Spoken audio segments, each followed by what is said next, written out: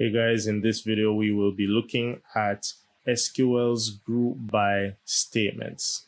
Now the SQL group by statement is an excellent way to literally group the data to see more distinct data and we will look at how it is written, the different variations and considerations that one must make in using this statement and in the rest of this section we will actually be looking at aggregate functions that rely on this statement. Now, I did start off by saying that the SQL group by statement can help us to identify distinct data. And I just want to inject a bit of disambiguation there with the select distinct statement.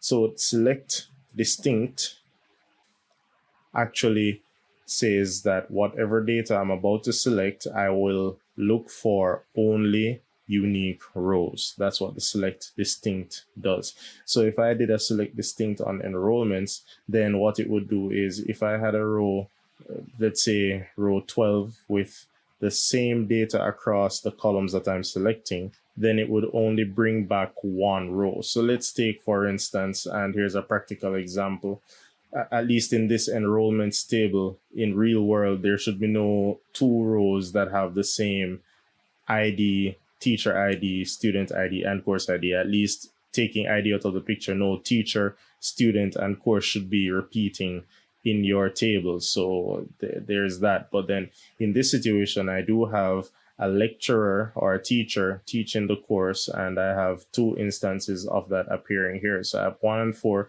one and four.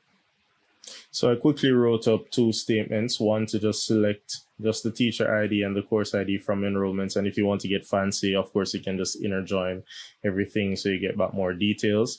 But just for the expediency, I'm just going to use this quick example. So select these two columns from the enrollments table, and here's all of enrollment. So when I run this query, it should bring back 17 rows only with the teacher ID and the course ID. Now, when we look at them together, we see that we have a few repetitions here. We have two and two here, two and two here. We have one and four, one and four, etc., etc.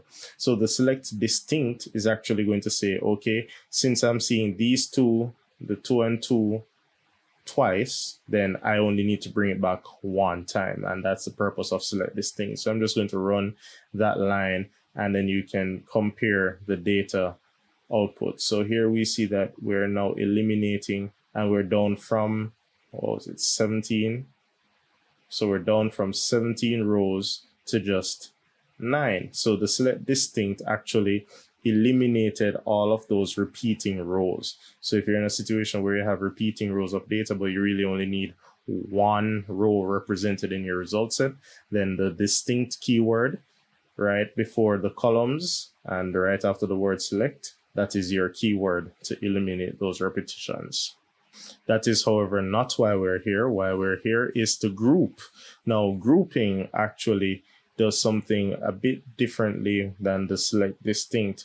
Grouping actually will bring back only one record that matches all of the requirements and it brings back this one record by actually doing like a background mathematics kind of thing to actually keep track of the number of rows that were there, allowing us to then layer certain mathematical functions on top. So if you need math, like for instance, count or the average or the maximum or the minimum, those kind of things, then you need to use a group by to actually bring back that one clump of the same data as opposed to the distinct. The distinct will just omit group by actually clumps. So we'll just do some examples of this.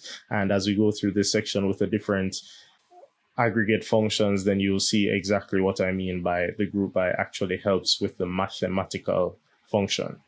Now we'll just modify this query that's already here, selecting everything from our enrollments and I'll add a group by and the thing with a group by is that it is the last statement. So in other words, if you have an inner join, it comes before the group by. If you have a where, it comes before the group by. So we're going to use a where in this situation. So I'm going to say where, and let us run some queries against teacher ID too. So we want to do some things where teacher ID is equal to 2, and I'll just execute and sift out. So this is all the data relating to teacher ID 2. Now, the first thing to note with the group by is that, well, the second thing to note with the group by is that every column that is being referenced needs to be included in the group by. And this is a blessed curse because the more columns that you put in and the more variations of data is the less grouping that can actually occur. So let's take, for instance, ID. ID is different in every row in this result set. So if I included ID in my group by, I literally would see no difference. All right. So the same way you would write the select and, and specify the columns is the same way you would group by column, comma, column, etc., etc. And if I execute this query, then you'll see that there is literally no variation in the data set that comes back.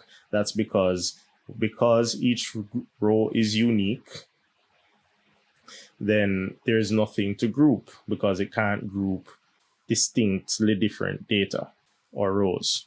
So when you're running a group by, you have to start with a process of elimination. What data is not absolutely necessary to my grouping? So let's take, for instance, ID. I really don't need to group by ID. All right. And so my group by starts with teacher ID. And I'll just pull this up.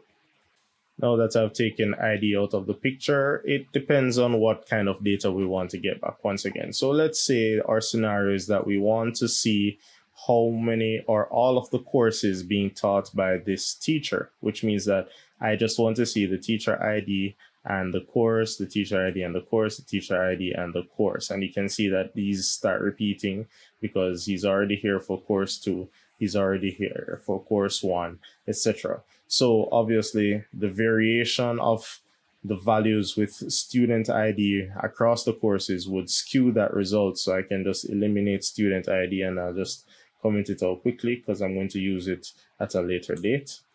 And then I execute and there you go. So the group by is now eliminating all of the additional rows and just bringing back the grouped teacher ID with course one, course two, course three. And remember that we use group by because we want to use some math and we'll get into the math and the aggregate functions a bit later. But for now, just appreciate how the group by works.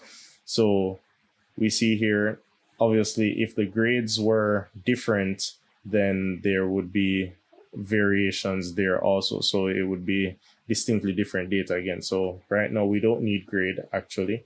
I didn't remember to remove that and we can execute and there we go. So the group by is just clumping these two together. What if we wanted to see all of the students that this teacher is teaching, regardless of the course. So then student ID would become our source of contention in addition to course ID. So we can just comment on course ID and then we run it. And so we see teacher two coming back with only one record of the student. And of course we can go ahead and join it on our table if we wish. All right, so I wrote up my inner join statements and I'm just showing you this error here.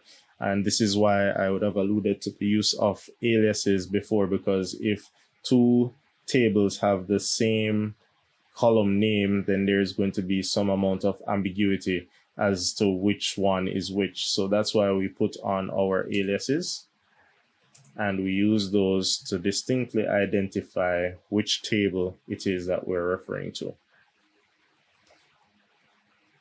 Now, having added both tables inner joins to this query, we need to add the columns. Now, note I'm getting this, this error saying that certain things are invalid because they're not a part of the group by clause. So remember that any column that I put in, and I'll just paste. So what I did was include the student first name and the student last name and call it student name.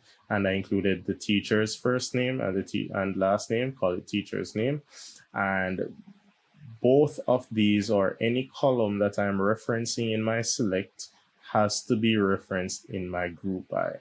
So I will have to also add s dot first name, s dot last name, and repeat the same for the teacher columns. And after I've completed adding my additional columns to my group by, so it really doesn't matter the fact that I'm concatenating them and bringing back the full name. It just matters that I am making reference to them in my select. And if I'm selecting them, then they must be a part of the group by. So when when I write up this entire query and this entire condition, then I must ensure that my group by is a part contains all the columns that are a part of my query. And so below you see that the teacher ID and the student ID are coming back and the student name is coming back as well as the teacher name.